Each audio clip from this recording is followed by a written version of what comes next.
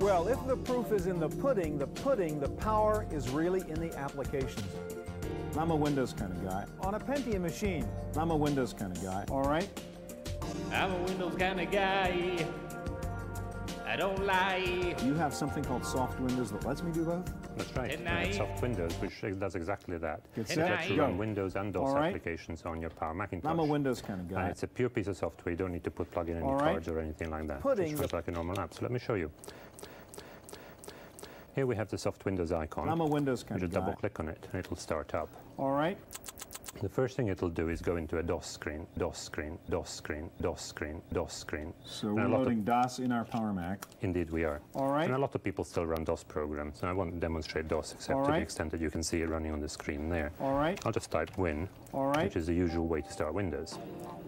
And it's, you can see uh, the official Microsoft logo And there. there's Windows on a Power Mac. There is indeed. All right?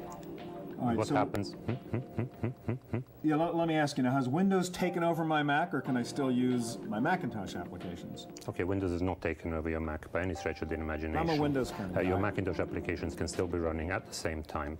Uh, all that's happened is that the menu bar has been taken away to give you as much screen area as possible.